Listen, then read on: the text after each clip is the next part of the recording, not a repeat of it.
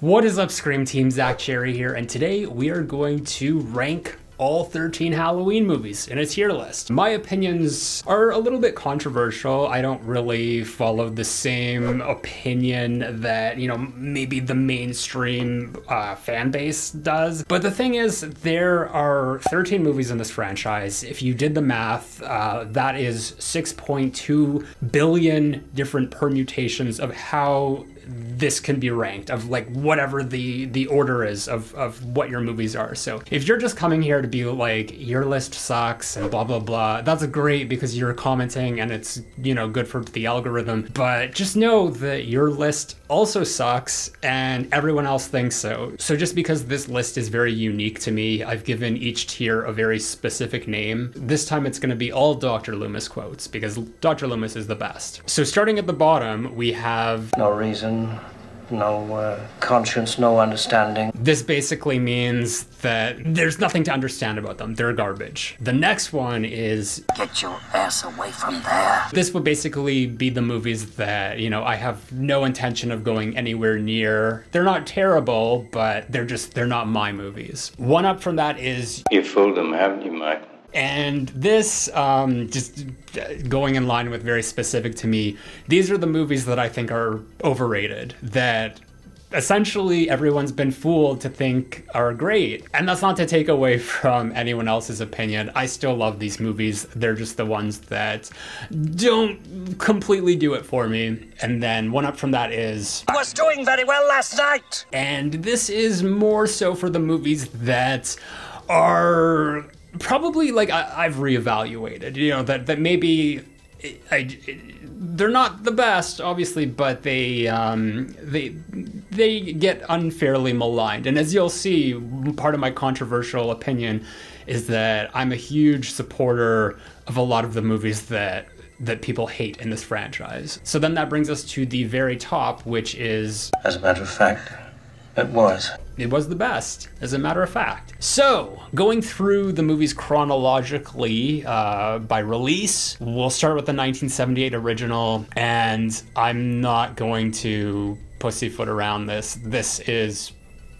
a perfect movie. And just so you're not expecting uh, any surprises in terms of other movies going in here, I'm just gonna let you know now that this is the only movie that's going in that category. Because, uh, I mean, as far as I'm concerned, the Halloween franchise, is, in terms of quality, stops at the original. That doesn't mean that the other movies aren't enjoyable, but me personally, I don't think that anything has lived up to the original or ever will and that's that's just that's just my take on it. But uh, this movie is just incredible. This was one of the first horror movies after scream that i you know was ever introduced to. There's just something about it that it's it's timeless. It doesn't age despite the fact that it's set in the 70s it was made in the 70s and considering that this was a very low budget film you know made for next to nothing like very independent production. It looks spectacular. This set a precedence for filmmaking to show that you don't have to put a lot of money into something to make it look good. So we'll move on to Halloween 2. And this one, um, this has always been a like a delightful surprise to me because initially like when I first started watching these movies, which was before H2O came out, um, I didn't watch them in sequence. So I, I had already seen um, Halloween, Halloween 4, Curse of Michael Myers, and H2O before. I had even seen Halloween 2. And to put it on and just see that this is more of the night he came home, like that was mind blowing to me because as much as this is Halloween 2, this is really like one big movie to me, which is why, you know, it was very disappointing to find out for uh, the new trilogy that they were excising uh, Halloween 2 from that canon because you know I, I just see this all as like just one big continuous night like Laurie's night from hell you know I've said that nothing really compares to the original but just in terms of like style and cinematography because it's still all the same crew that are working on this like Dean Cundey that this movie just looks like it still belongs as part of the original. I think that like the hospital setting is a great atmosphere. I think this this movie probably has the creepiest atmosphere of any of the Halloween movies. The thing is, though, and this was on my most recent rewatch, I just found it to be particularly slow. But I'm still going to say that that uh, he was doing very well last night. Because um, remember, keep in mind, nothing is going in this category anymore. Everything is going to be from here down. Halloween 3 Season of the Witch. This movie just keeps getting better and better for me. and you know, like right now, this is where I'm going to piss off a lot of people. So I think that what the Halloween franchise should have been, I mean, like, there should have never been Halloween 2. I mean, I, don't get me wrong, I love the fact that we do have that and we do have every, you know, that we have more Michael Myers. But had this been like what John Carpenter and Debra Hill originally wanted was to do an anthology series and have every movie be a different story that's all based on Halloween night, that would have been amazing. The the issue is that they had already gone ahead and, and done Halloween 2, which kind of set a precedence that um, people were expecting Michael Myers.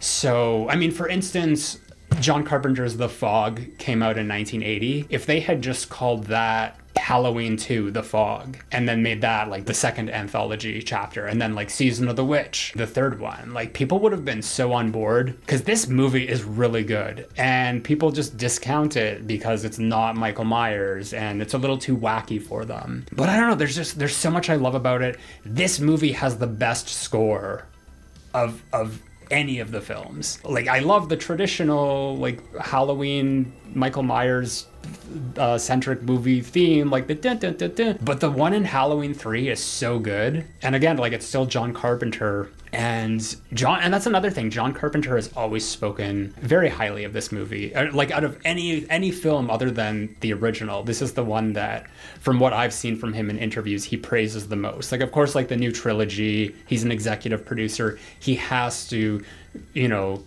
be on board for it. He, you know, he has a financial stake in everything. But uh, Halloween 3, I agree with John Carpenter. And I'm going to say this is, he was doing very well last night.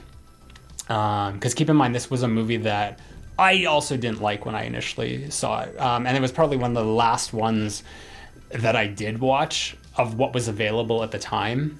So it's, yeah, it's grown on me. And I'm going to say that it's better than Halloween 2. I mean, I think that these three movies, like this, what I like to call the John Carpenter trilogy, I just love the fact that like there's a consistency in just style and quality uh, among these these three because they were all shot with that anamorphic widescreen lens, which just it just gives it like the appearance of looking like much better quality than it actually should be. Let's get to Halloween 4 now. I really liked this movie when I when I first saw it because this was, you know, one of the only two that were available at the video store that I would go to. So, you know, I would alternate back and forth between watching Halloween and Halloween 4. And I think that why a lot of people really love it is because it's like the original, a very simple premise. So to me, like that is kind of a detriment because it it it does make it very basic.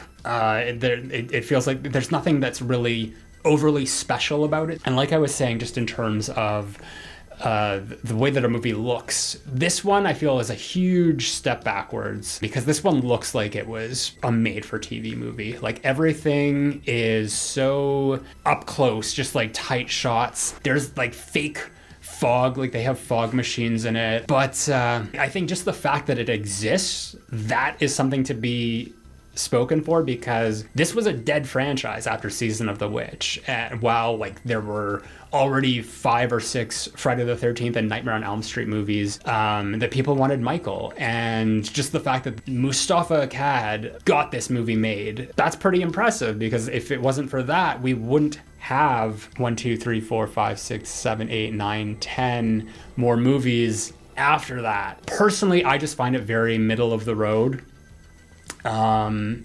and kind of overrated. So that's why, like, for me, it goes in "You Fooled Them," haven't you? But I, I do like this is a movie that I, if I was to do a marathon, this would always be included. Which I mean, I don't want to show my hand too soon, but I'll we'll just say that this this is one that I still think is good Halloween. Like this is still the Halloween movies that I enjoy. So next up is Halloween Five which I mean, I've always known that this was hated. I guess I just didn't realize how hated it was, and it kind of like surprises me how how much people dislike this movie because I find this one to be so incredibly fun. Like I just enjoy it so much. It's it's like so bad it's good territory. I would like even call this a guilty pleasure. Um, but I don't feel guilty about liking it. Like you have to go into this one looking at it as though it's a comedy because it's like hilarious. It's freaking hilarious. And it's from a European director, so it has a very distinct European vibe to it. There was a lot of decisions made in this movie that were like this guy took so many liberties just making this the story whatever he wanted to and at the time like they were just riding the the wave of success from halloween 4 so i think uh, Moustapha Akkad was just like yeah sure yeah you can do all those things and then maybe regretted it later on but I don't know, like this movie, as bad as this is, like something like badness does not reflect on the same of like personal enjoyment. So um, I actually really like Halloween 5. And I'm going to put it, and he was doing very well last night, but I'm not going to put it above these two. Um, so there, that's that, you know, another decision that probably triggered a lot of people. But, you know, maybe this next one will as well, because now we've got Halloween 6, The Curse of Michael Myers. And also, I should point out, because I didn't mention before, obviously I'm just ranking 13 films. I'm not doing producers cuts or director well Rob there's two cuts of both Rob Zombie's films, the theatrical and the, and the the director. I'm just doing the one that I like I think it's the director's cut that I own. That's what I'm basing it on. I've seen the theatrical cuts. I've seen the producer's cut of Halloween Curse of Michael Myers. You know, because then you could start incorporating like what about the television version of Halloween 1 or Halloween 2? Like there's you could add so many to this list. I'm not doing that. That's that's pointless. Um, and if it came down to it, I would probably pick the theatrical version of Halloween 6 over the producer's cut anyway. Um, but this is, I think this is the first Halloween movie I saw. I could be wrong. It was either the original or this one. And I think that what had my mistake because there was no number on it, it doesn't say six. I think I initially thought that this was the sequel. This was the first sequel because I hadn't seen any of the other ones after that. So when I got it, and just put it on. You, you, I mean, if you you've seen this movie, it's so convoluted right out the gate that I was just so lost. And I think that like because of that and just going through my initial experience with this movie was not good. Like I just did not like this movie. Um, at the time, like of the seven that came out, like uh, after H2O, this was my least favorite. And this is another one that the more I watch it, the more I just really come to love it. The story's terrible. I mean, it's not even terrible. It's just it's incomplete. This movie also has a, the distinction of being released in a pre-Scream era of the 90s. We would get movies like Wes Craven's New Nightmare and um, the first sequel to Candyman, and um, it was like the fourth Texas Chainsaw Massacre movie that, that, everyone hates. Jason Goes to Hell, even.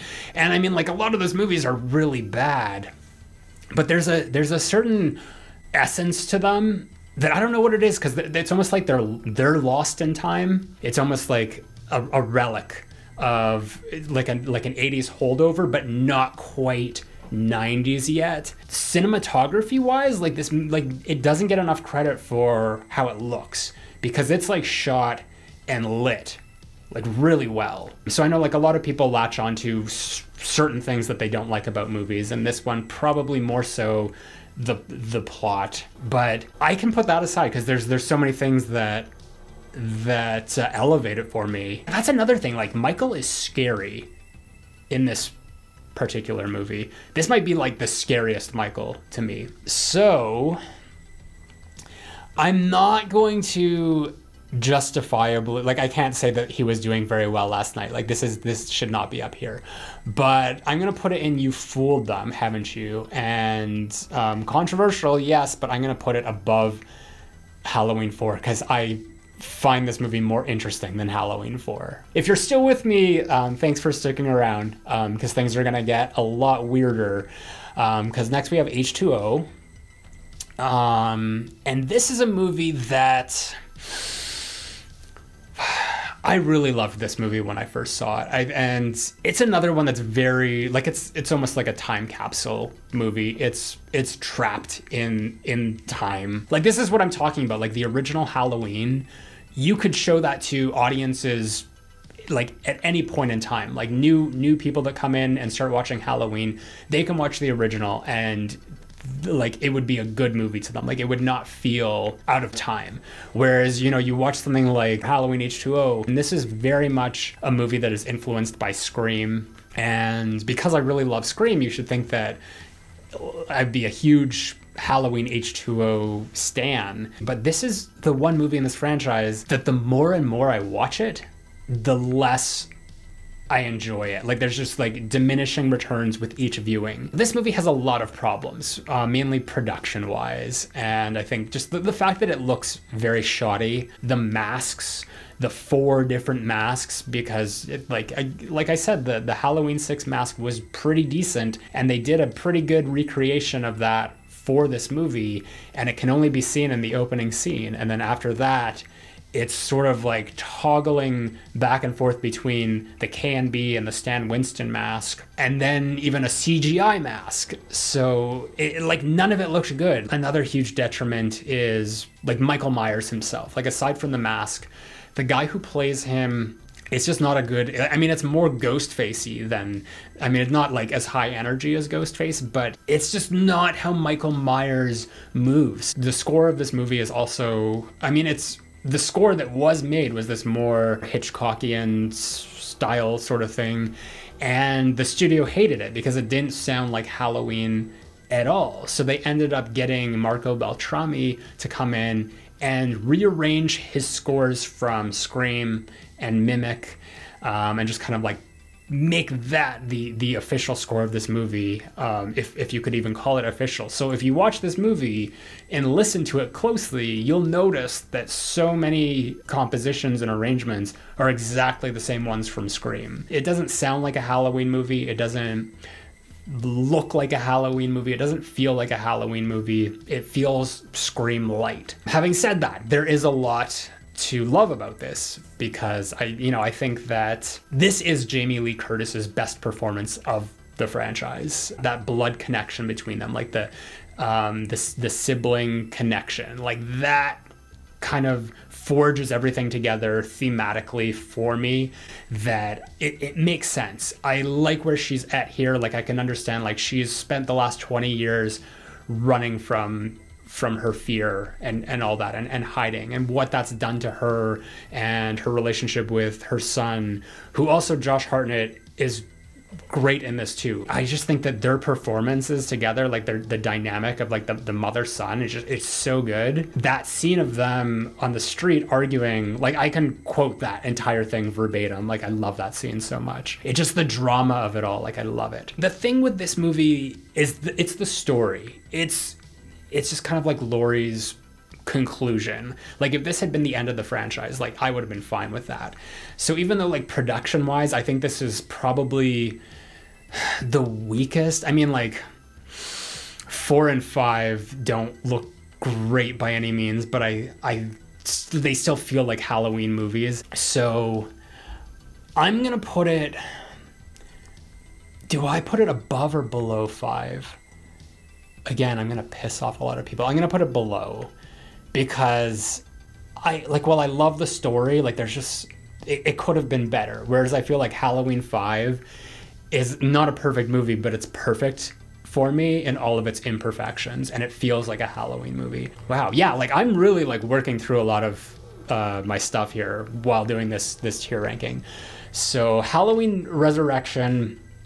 Um, this is going in no reason, no conscience, no understanding. This movie, like, it's terrible. I, I, I cannot fathom how this got made. I mean, uh, like, here's the thing. Like, I was already like a huge Halloween fan before this came out. And when we found out, because they announced pretty quickly after H2O that, like, no, we're going to make another one. And everyone was like, how are they going to bring him back? Like, she chopped off his head at the end. And I think, like, the only thing that I could possibly think of was that it was someone else behind the mask. But just to, to actually find out that that's what they did was a huge disappointment. But even that, even like the opening scene and all the stuff with Laurie, as disappointing and offensive as it is, especially just given her triumph at the end of H2O. Um, and then there's just this basically taking everything back. Like that was still, you know, I could still be on board for this movie, but everything that comes after that is awful. You know, when I think about this movie and I think about the, the, the plot there is no plot. It's really non existent. They basically had a premise, which I think was a bunch of writers sitting around a writing room and just throwing out every popular trend at the time so that would have been found footage reality television models let's get like like rappers and models they just had to throw in so many things to just try to draw the broadest audience possible just get as many people in the theater. And that's the thing like when you try to uh, please everybody you end up pleasing nobody. This movie is also really ugly. It's got that that just like washed out like everything is so drab look to it which was very much like present in like a lot of movies that came out in the early 2000s but you also have so much edited in headcam footage of just the low quality 360 that this movie makes me nauseous because because of all that. The quality of this movie is just it's non-existent. And just the fact that there is no story. Like they they get into the house and their thing is like, well we should probably look for clues. For like for what? And then the side story of like the kids like the deckard watching it like it's just it's not good. It's really bad and i don't even want to talk about it anymore. It's it's a, it's at the bottom. We'll just we'll leave it there. So next up is is rob zombie's halloween remake. And I remember, like, when I saw this, I really liked it at the time. Like, when I went to see it at the, the theater, it was uh, a like a sneak preview sh- advanced showing. Like, this is before they did the uh, like the Thursday night previews. So this was kind of like a big deal. Like, my friend and I got like advanced tickets. I don't even remember how, and the audience was like packed and like off the hook like everyone was like having a really good time. Like you think of like movie theater experiences that you've had where just like everyone was like into a movie and you get people like stand up at the end and do a standing ovation. I think that kind of colored my experience of the movie on the initial watch through because i mostly like attributed my enjoyment based on the audience um, and just like being in the actual theater because when i watched this movie today I hate it. and it's I mean I'm not I'm not hot on remakes as it is, but um, you guys probably know if you've been following me that I really hate prequels even more. And this is what this movie is. It's half of a prequel and then the other half is a remake. I don't need to know about Michael's childhood. It, it like it takes all of the piss out of everything that we know about him later on to just see this kid grow up. And the fact that he's it's like a different version of Michael, like it's a different retelling, whereas like John Carpenter's Michael Myers is a killer based on nature. The Michael Myers from the Rob Zombie verse is just based on like having a really crappy childhood upbringing. And it just it doesn't make sense like for this character to go from like point a just like this whiny little brat um, to like what he becomes like this big hulking frankenstein's monster going around and like senselessly killing people without speaking. Like it just i don't see the through line. I also don't love how nihilistic the like both of Rob Zombie's movies are. And everything about these movies especially more so in the sequel, but you know, kind of in this one too. It's just like grungy. It's just like how can we take all of these like cherished memories that we know from John Carpenter and just kind of like defile them and make them unpleasant. And that's just what I see with like all of all of like the like set pieces and the characters. Like I just don't connect with with Laurie, Annie, and Linda in this in this uh, universe. Like I just I I don't care about them. It it, it feels just like so sacrilegious to to even be remaking a movie like this and just re remaking these characters and not to say that like anyone did a bad job with it but it's just it's not my bag i would say no reason no conscience no understanding but i do think that there are qualities about these movies that I, you know, I, I, I wouldn't want to just lump it in that category because I think that this is specifically for movies that's that are awful that should not have been made, um, and that no quality work or passion went into it because I do think that Rob Zombie did at least put an effort into making a movie because there's clearly there's an audience for this. Um, I'm just not part of that audience, so I'm gonna say, get your ass away from there which is just my my ass getting my own ass away from from these. There's also the, there's like a 15 minute chase scene at the end just watching her crawl around this house for 15 minutes. Like there's a time to know like when to extend the moment and, and you know make something suspenseful. And then there's another time where it's just all padding. And i feel like there's a lot of that uh, with rob zombie's 2007 halloween. So halloween 2 I've kind of already shown my hand uh, with this one, but this one is also going and get your ass away from there. This is a hard watch. Um, it's a, you know, just speaking of how like Resurrection was difficult to watch with like all the shaky cam. Like this is a movie that's very offensive to my senses as well. Possibly even more nihilistic than than the first one. I don't know. Like neither. I don't like either of these movies. Like I like I full on have gotten to the point where I don't even include them in a marathon anymore. Like I would just go one to Resurrection.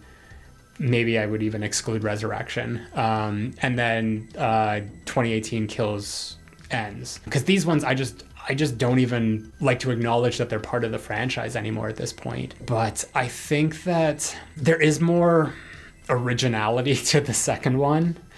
And I don't know, like I I slightly enjoyed a little bit better. I, even though it's it's does go against a lot of who Michael Myers is. Like we see him walking around without his mask on for so much of the movie. Like that's a huge offense right there. But yeah, I think I think I just slightly enjoyed a little bit more. But you know what? These are this is it. This is the this is the bottom because I don't think that you know, aside from these, it really gets any worse. So we're gonna get to 2018 now, and this one, boy, um, there's a lot that I really like about this, and there's a lot that I really don't like. And I think that, you know, just in terms of what we were talking about before, of just production value, this one really raises the bar. Because I think that, like, of all the movies to date, this is probably like it just looks the best. Everything from the mask to the kills and like even like recreating Haddonfield, like that's the thing. Like I don't think that outside of like that that connective tissue that we saw from Halloween to Halloween 2, that like Haddonfield in every sequel after this has not looked like Haddonfield. Like it's like obviously they've shot in different locations. It wasn't Pasadena, but at least with with this trilogy, David Gordon Green does a really good job of making Haddonfield look like the original Haddonfield. But there's a lot of story decisions um, and writing in this movie that I just it takes me out of it. I'm a huge fan of Judy Greer. I do not like her character at all. Dr. Sartain, like the, the the whole idea of separating Michael and Laurie as brother and sister, like I'm fine with that. If that's what they wanted to do, cool. This is a choose your own adventure franchise. But the fact that they basically tethered these two characters back together and, you know, that was the goal, that they had to come up with this huge plot contrivance to do so, that really undermines the whole story for me. Having said that, I think that the ending of this, like the, the last 15 or 20 minutes or whatever, that is really well done but the, like the the logic and like the ride to it doesn't really work as well for me. So this is one that like I watch it and you know I, I, I like it to a point, but it's not one that I would put on repeat. So I'm gonna put this in You Fooled Them, haven't you?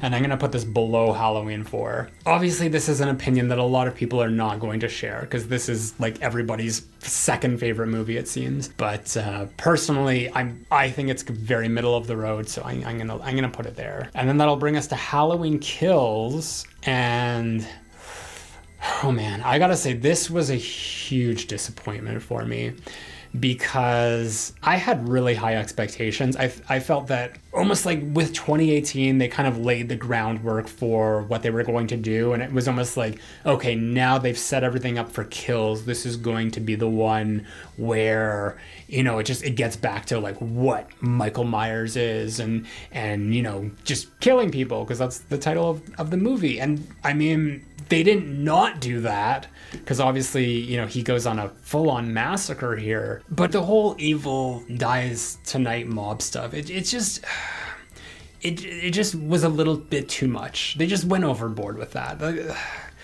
Because there are things in this movie that i really like. I think like the opening, the whole 1978 flashback is incredible. Just how they recreated that, and again, in, just in terms of like the quality uh, like the production quality of the movie. Like it looks great, but the characters and just like bringing back all these legacy characters like like Lindsey and Tommy and Marion and Sheriff Brackett they don't do anything with them. It just felt like such a slap in the face, like specifically for Marion, who was already killed off in H20 and had a much better send off there and actually like put up a decent fight. For her to come back here and just be so throwaway. There's so much fan service in here, which is really just fan disservice. So other than the opening, like the, this whole movie was just a like a constant disappointment from from beginning to end and it it didn't get any better for me. I don't know if I want to put this in get your ass away from there cuz I still think that there's I could still watch this. I'm gonna okay. I'll put it in. You fooled them, haven't you? And it's gonna go under under Halloween. I, def, I definitely think this is the worst of the trilogy, the new trilogy, which might be another hot take. Uh, but but yeah, because because now I've already told you that I don't hate Halloween Ends the most.